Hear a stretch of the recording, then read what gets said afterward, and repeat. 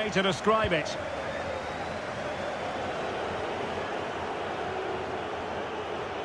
Well, he always has to be regarded as a dangerous opponent, so what should we expect to see from him in this game, Stuart? Well, he's their leading goal scorer because his space awareness in tight areas is so good.